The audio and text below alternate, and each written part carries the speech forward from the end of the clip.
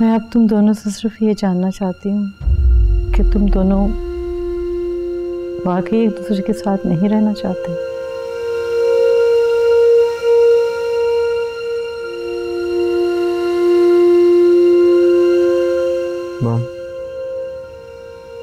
Please असर के बारे में सोचें।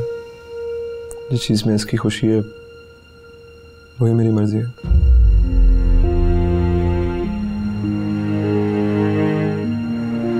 जिसकी जान बचाने के लिए तुमने इतनी बड़ी कुर्बानी दी है, क्या उसका इतना भी हक नहीं बनता?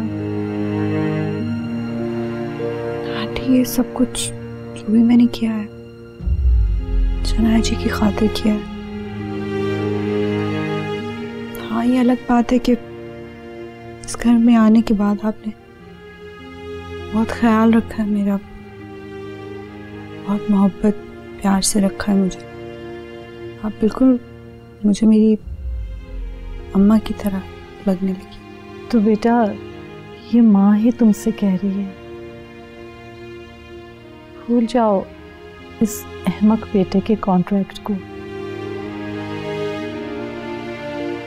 तुम देख नहीं रही? अल्लाह ने इसका दिल भी बदल दिया है।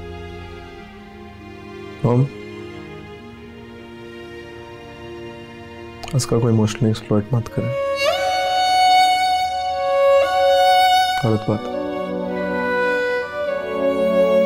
का बताओ, तुम जाना चाहती हो?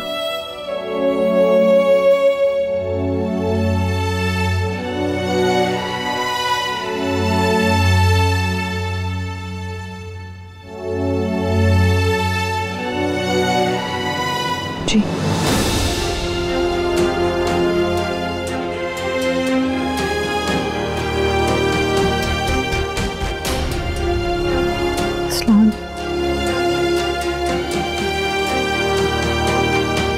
फोड़ा उसका